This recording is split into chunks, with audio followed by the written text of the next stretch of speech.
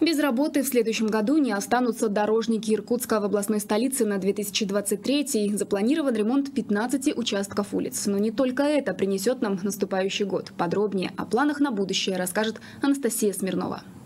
Пока рядовые иркутяне продумывают, какие желания загадают под елкой на Новый год, официальные лица строят планы на будущее. В Иркутске их немало, причем масштабных.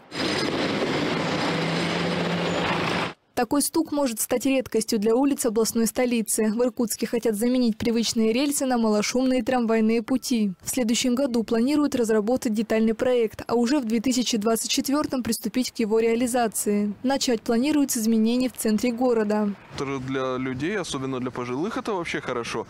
А, мало ли, может быть, от, от, от такого э, стучания и от такой, от такой тряски же, может быть, голова болит. Чтобы меньше болела голова у чиновников о замене асфальта на дорогах, в Иркутске уже в этом году при ремонте магистрали начали применять новое покрытие. Оно толще, поэтому и более износостойкое. Такой же асфальт появится в следующем году еще на 15 улицах города. В каждом округе отремонтируют по 4 участка. Кроме Октябрьского, там новое покрытие появится на трех улицах. Но самые глобальные изменения коснутся в новом году предместья рабочего. В 2023 году планируют начать строить так называемый тепловой луч. Именно этот проект позволит районы, которые сейчас обслуживают более 20 котельных, подключить к централизованному отоплению. А это открывает новые перспективы для города. Это практически центр города.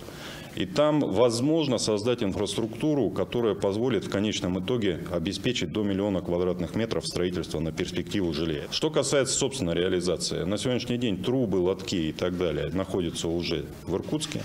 Соответственно, в следующем году начнется достаточно масштабный этап строительства, собственно, этого объекта по баррикад.